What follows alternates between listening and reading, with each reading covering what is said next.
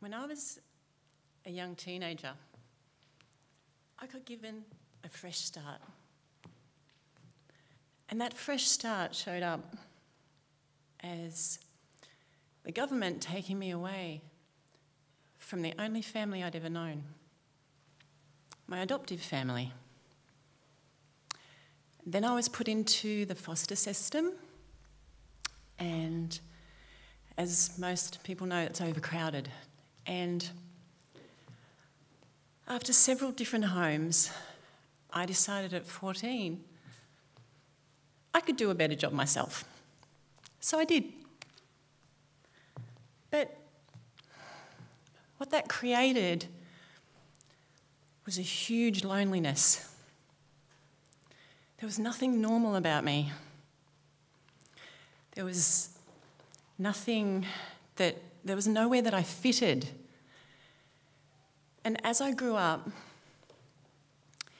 it just got harder and harder and more lonely. And I just felt more out of place and never fitting in anywhere. Filling in forms was the worst. It's like name. I'd had five of them by the time I was 17, just for my own protection.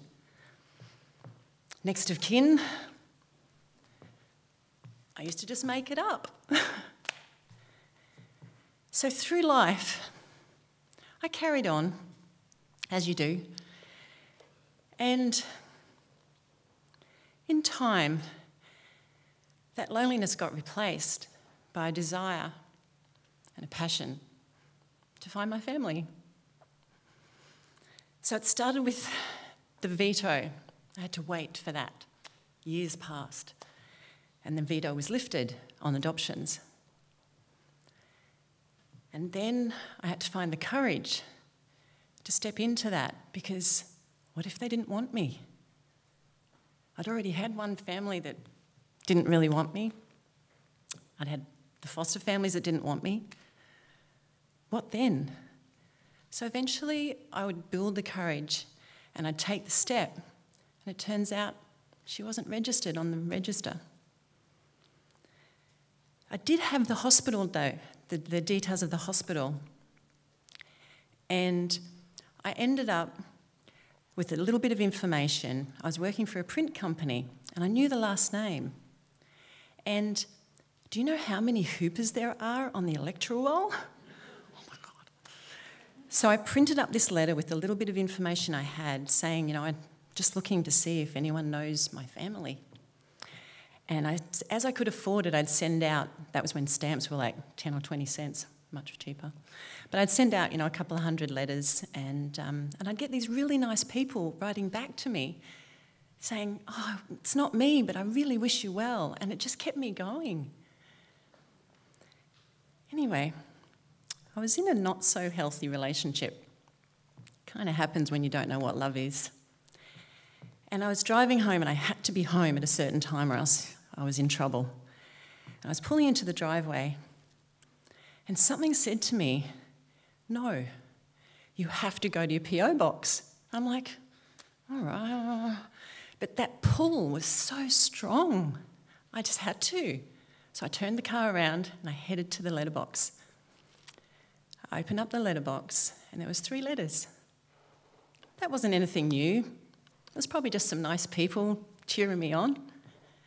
So I opened up the first one, and it was a lovely lady who said, you know, that um, I don't know if this helps, but you know, and just gave me some information. But you know, I really wish you well. And I was like, thanks, that's really cool. But I'm still alone.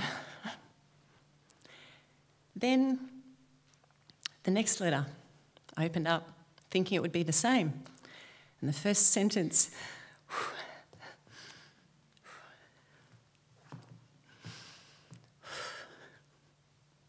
I'm the person you're looking for.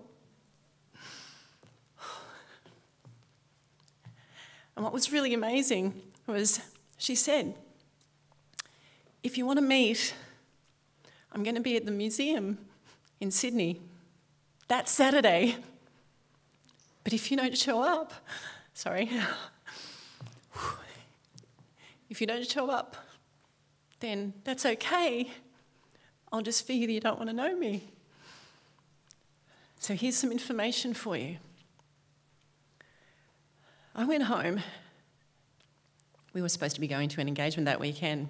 There was nothing that was going to stop me going there.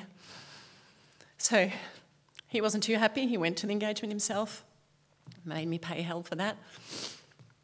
And I called an old friend because I didn't have any friends anymore. He'd stopped them all from me. I phoned a friend. I said, Hey, this is what I'm doing. She said, I'll come with you straight away. So I went to the museum.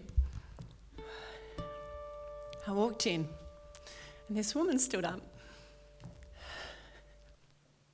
And I was home. I was home. And we sat down and we talked for hours.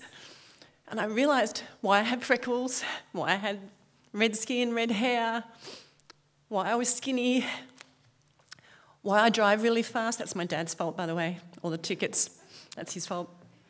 And, and I now have a huge family with eight brothers and sisters. And it was my birthday last week, still open to presents. and I realised if I hadn't been adopted by that family, if they had been even half okay as parents, if they hadn't been so nasty to me, I would never have had the drive to search for the mother and father I have now. And that is a blessing in disguise. Thank you.